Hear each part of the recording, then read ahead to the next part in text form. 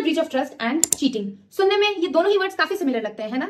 But under law in दोनों words में एक बहुत ही बेसिक डिफरेंस है। तो क्विकली देखते हैं कि इन दोनों वर्ड्स में क्या डिफरेंस है। अंडर एनी क्रिमिनल ऑफेंस जो एक बेसिक चीज़ सबसे ज़्यादा इंपॉर्टेंट होती है, वो होती है इंटेंशन तो वैसे तो criminal breach of trust and cheating इन दोनों में ही अक्यूज का इंटेंशन मौजूद होता है एंड इंटेंशन होता है सामने वाले से धोखा करना। बट जो एक basic difference criminal breach of trust and cheating में होती है, वो ये है कि क्रिमिनल ब्रीच ऑफ़ ट्रस्ट में अक्यूज का इंटेंशन शुरू से नहीं होता है। फॉर एग्ज़ाम्पल सामने वाले ने मुझे कुछ पैसे दिए कुछ दिन के लिए संभाल के रखने के लिए। मुझे उस पैसे के साथ कुछ गलत करने का इंटेंशन नहीं था। बट क्योंकि इतने सारे पैसे मैंने पहले कभी नहीं देखे थे सो सडनली मेरा माइंड चेंज हुआ एंड मेरा ये इंटेंशन हुआ कि क्यों ना मैं इन पैसों को चुरा लूँ। ये हुआ क्रिमिनल ब्रीच ऑफ़ ट्रस्ट वही मेरा इंटेंशन शुरू से ही उन पैसों पर कब्जा करने का है। इन दैट केस इसे चीटिंग कहेंगे। So in simple words criminal breach of trust में अक्यूज की इंटेंशन शुरू से ही खराब नहीं होती है बट प्रोसेस के दौरान कभी भी उसकी इंटेंशन दगमगा सकती है। Whereas in cheating accused की इंटेंशन शुरू से ही खराब होती है मेलाफाइड होती है एंड उसका इंटेंशन होता है कि वो रॉन्गफुल गेन करे सामने वाले इंसान से। अगर लॉ से रिलेटेड आपको ऐसे ही और भी डाउट हो,